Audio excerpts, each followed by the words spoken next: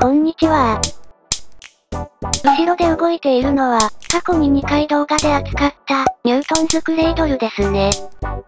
最近この過去動画が、すごい数再生されていますので、今日はこれを使って、また違う遊びをしたいと思います。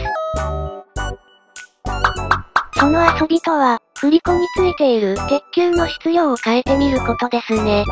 今回は、素材の密度のみを変えることにして、大きさや反発係数はそのままにして遊びます。さて、どうなるのでしょうかやってみよう。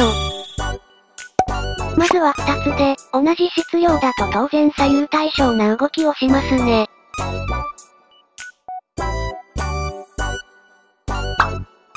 では、わかりやすいように質量の比ごとに、玉の色を分けていきます。これは、赤と青で、質量が1対2です。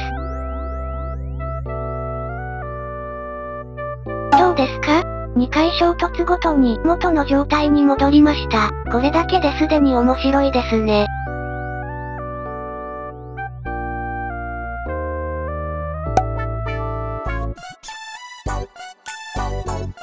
質量比が1対3でも同じです。でも衝突した後の触れる幅が違いますね。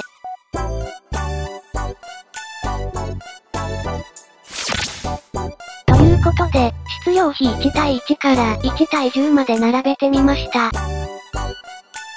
では試しましょう。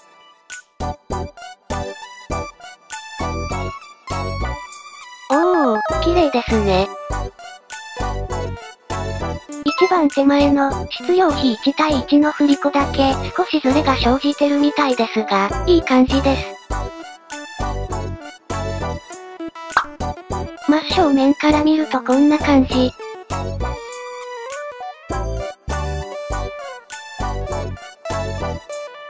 真上から、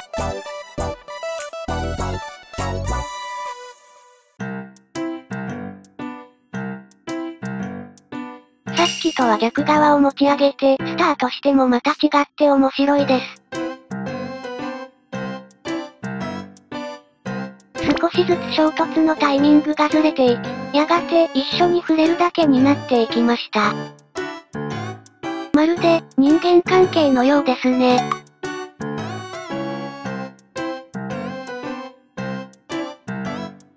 次は振り子3つで、右の玉だけ、質量を3分の1にしてみます。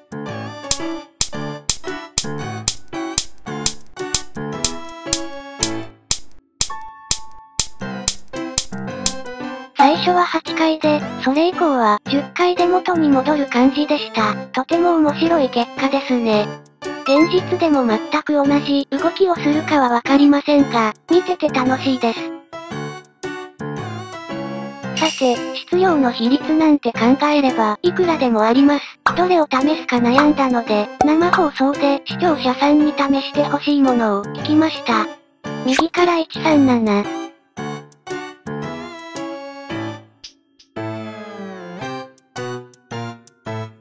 しょうか？やっぱりちょいちょい周期的に戻るような感じがしますね。重い方からスタートすると同じようにはいかずに最後にみんなで揺れて終わります。これもまた伊藤歌詞。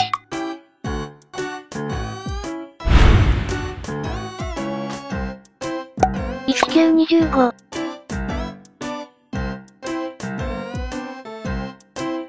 定期的に元の状態に似た形を見ることができますね。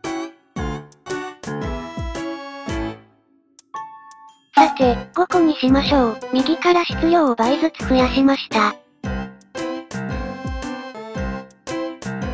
ややこしくてよくわからないですが、定期的に元に戻ります。いいですね。他にも色々試しました。仮に現実でやったとしたら、同じになるかはわかりませんが、似た感じの雰囲気にはなると思います。